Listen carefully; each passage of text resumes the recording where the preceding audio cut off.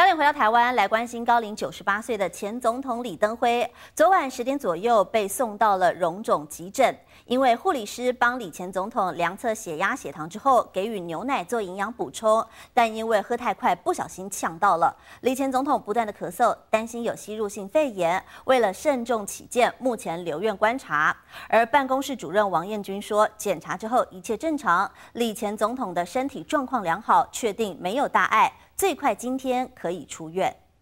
奥利贝奥利贝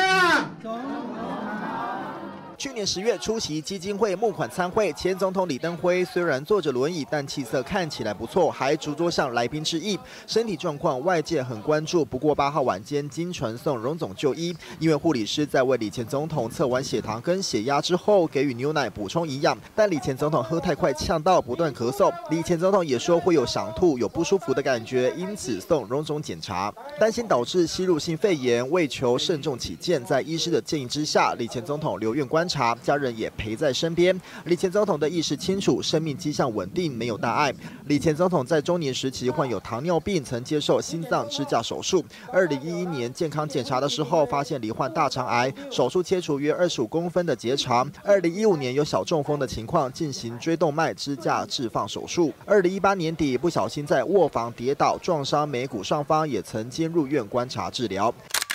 今年总统大选之后，成功连任的蔡总统跟总统府秘书长陈菊前往翠山庄拜访，为李前总统提前祝寿，也向他说明大选结果。当时李前总统精神状况都很好。这次虽然只是喝牛奶呛到，但李前总统年事已高，又有许多慢性疾病缠身，在接受电脑断层扫描详细检查之后，确认没有问题，就可以出院回家。记者肖伟宏伟才台北报道。